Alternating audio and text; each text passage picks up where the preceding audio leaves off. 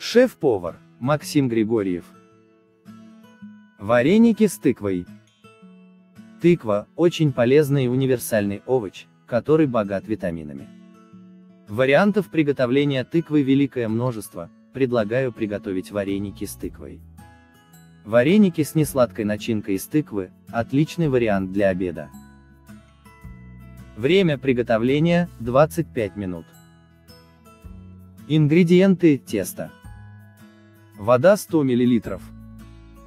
Масло подсолнечное рафинированное 30 мл. Молоко 100 мл. Мука пшеничная 300 грамм.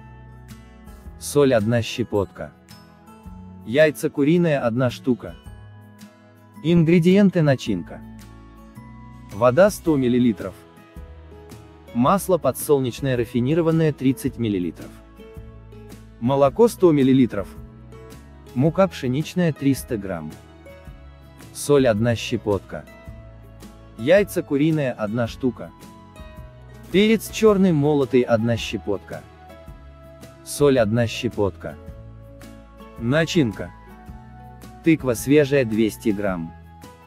Укроп свежий 5 веточек. Шаг 1. Для приготовления необходимо тесто, из рецепта вареники с шампиньонами, для вареников, тыква, укроп, соль, перец черный молотый, вода. Шаг 2. Займемся начинкой. 200 грамм тыквы натереть на терке для корейской моркови. Шаг 3. Добавить 1 щепоку соли и 1 щепотку черного молотого перца.